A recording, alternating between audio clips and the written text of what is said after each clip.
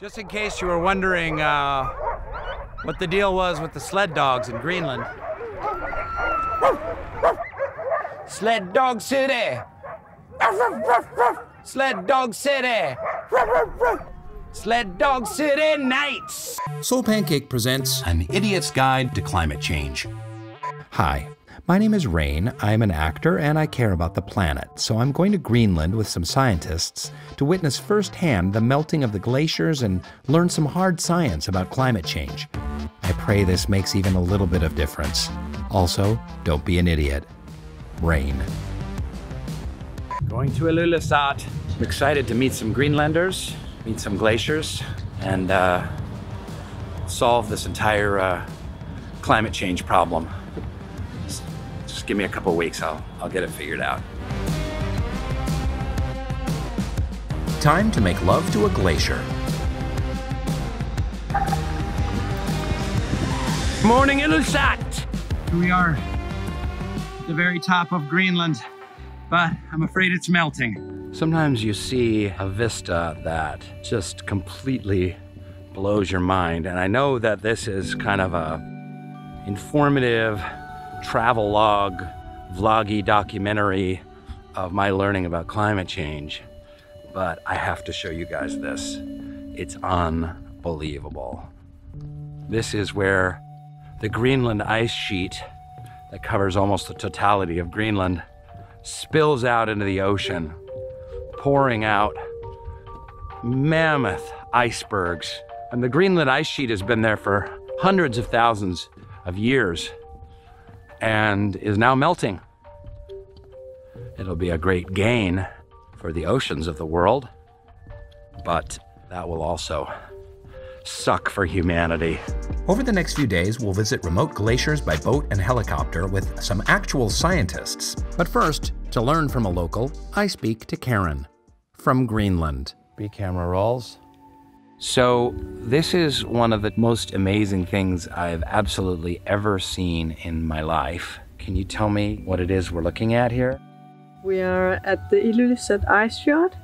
The Ilulissat Ice Fjord is about 70 kilometers long, and that means that the glacier front is 70 kilometers from here. So, there's a giant ass glacier 70 kilometers up that way. Yes, and it's huge, huge icebergs that falls off. So it produces these huge icebergs out here. So, this is an iceberg graveyard, kind of.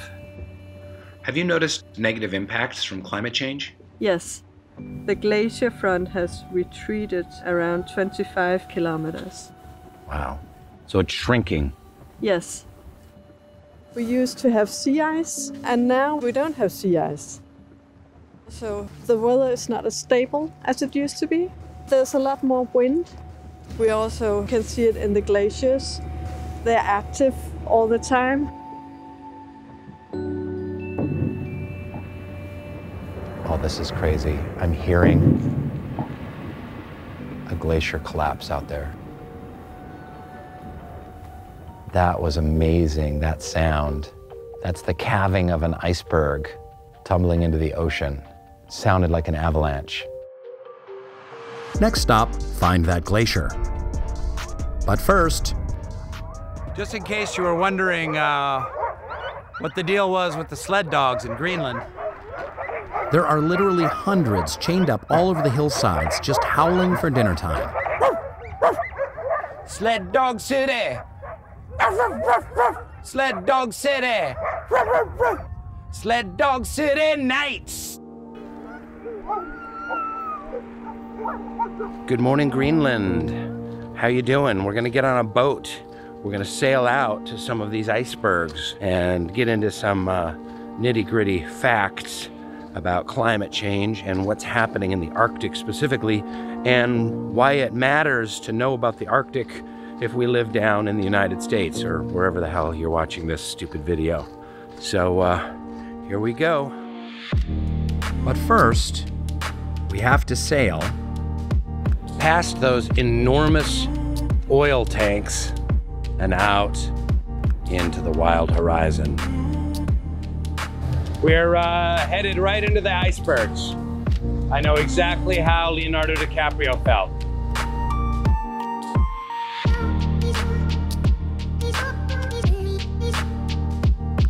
These cliffs are like the most ancient things I've ever seen. Totally Game of Thrones back in there.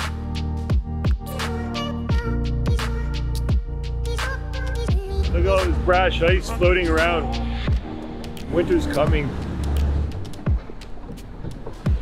Winter is coming. Okay, I've seen some crazy in my days, but man, oh man, I've never seen anything like this. This is literally where a glacier meets the ocean. Ground zero for climate change. So, uh, David, uh, Dr. David Hik, not Hike, is that right? I can take a hike, but David Hik, yes.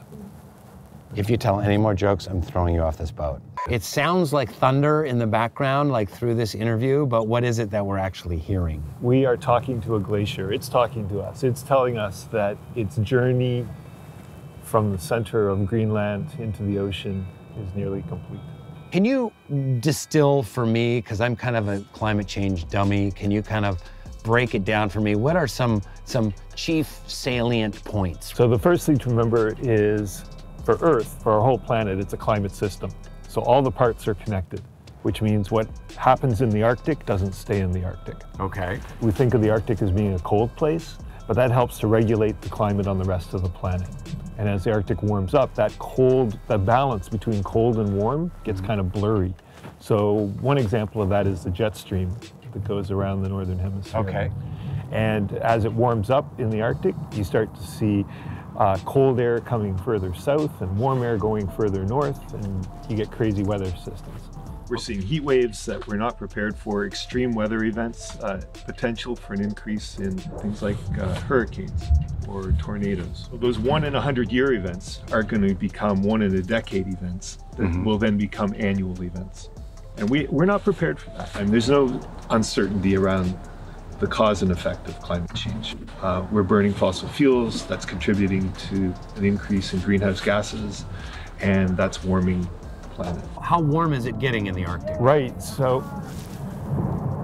Whoa! we go. We got a big wave too from that crashing ice. Globally, the, the Arctic's about two degrees warmer than the warming we've seen in the rest of the planet. So we've seen warming in the rest of the planet, but We have, right. the Arctic is even warmer. Even warmer. what- why is that?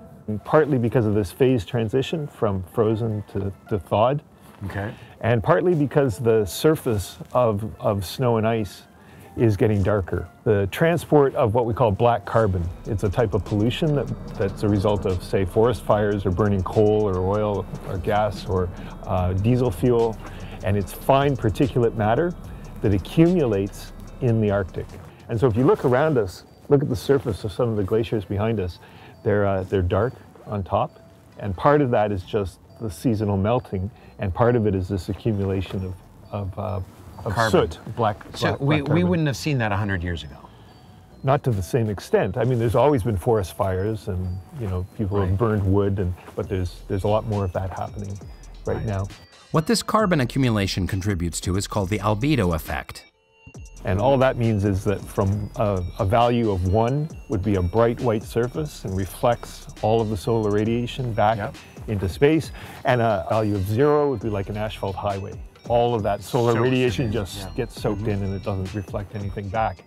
So the darker the surface area, the more it warms and the faster it melts. Why don't we make white highways? Well, we should. We should have white roofs and we should have white highways. We should just reduce the, uh, we can reflect more of that radiation back. Wow. Okay, that's a good place to start. But Just, here- uh, there we are, kids. Uh, paint your uh, paint your roof white. Even better, have a living roof because plants and vegetation do an even better job than just uh, a Oh, flat surface, okay. right? Great. But, uh, but the Arctic ba- is getting darker and we've been progressively losing ice. It's uh, pretty much at a tipping point now where we predict by uh, the middle of next decade, the Arctic Ocean could be season- seasonally ice-free, almost entirely melted. The other thing is you have a shift from an ice-covered ecosystem to an open water pelagic ecosystem. That changes the whole food web. So things like polar bears or seals uh, that rely on sea ice, Yeah. they're not there anymore. There's also an entire ecosystem of small organisms, microorganisms, algae, zooplankton that live on the bottom of sea ice. No ice means no plankton. Under the ice means certain fish don't get to eat that plankton, may die or go away. And Right. then seals that eat those fish Right. may die or go away. And then polar bears that eat those seals may die or go away. That's right. So the whole system will shift to something new. So polar bears and seals are. Um, they need sea ice.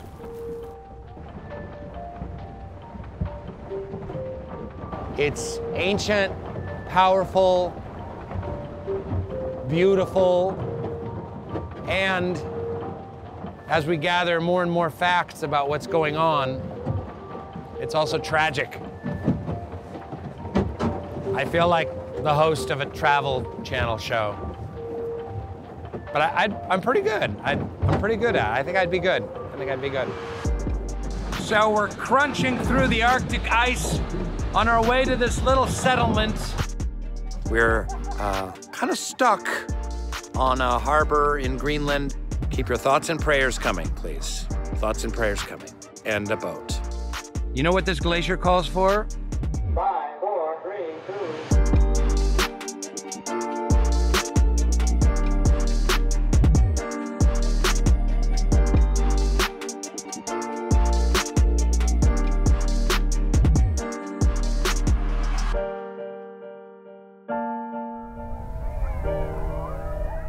Coming up on An Idiot's Guide to Climate Change.